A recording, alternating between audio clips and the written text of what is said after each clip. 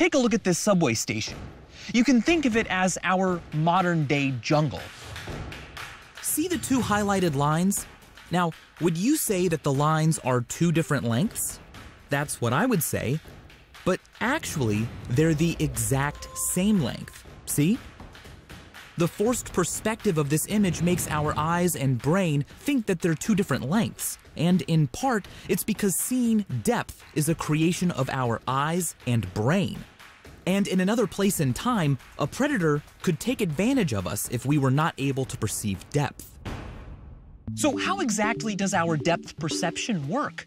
Well, take your finger and place it in front of your nose, like this. Close your left eye. Now switch and close your right eye. Did you notice the background jump? That's because each one of your eye's views is slightly offset. Your brain takes these slightly different 2D images from your eyes and stitches them together to create a 3D image. This is known as stereoscopic vision, and it was a huge advantage to our ancestors when they were hunting for dinner and needed to figure out how far away a rabbit was from their hunting